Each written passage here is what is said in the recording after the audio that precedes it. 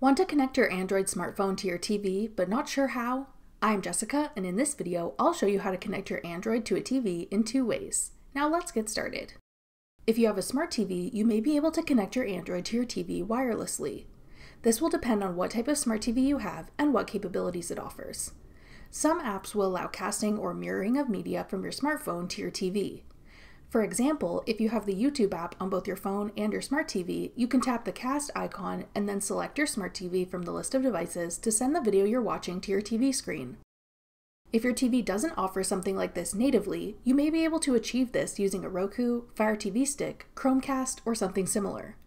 If you have the matching apps on both your Android and your TV or streaming device, look for the cast icon on your Android to send the media to your TV screen.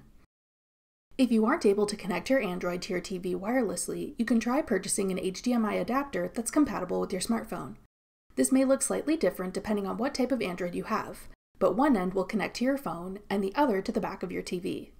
Typically, this will be a USB-C to HDMI cord. Make sure to get one that is compatible with your specific smartphone's charging port.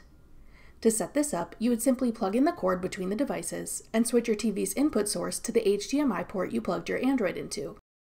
The upside of using the wired method is that you aren't limited to specific apps, and you can show your entire Android screen and any app you want to have projected on your TV screen, and you won't have to deal with any potential lagging issues that wireless connection can sometimes have. That does it for the two ways you can connect your Android smartphone to your TV. For more helpful Android tips and tricks, check out our full playlist of Android tutorials. We'll have it linked in the description box below. Thanks for watching. If you found this video helpful, we'd love it if you'd hit the thumbs up button below and subscribe to our channel. We put out great new tech tutorials like this one every week.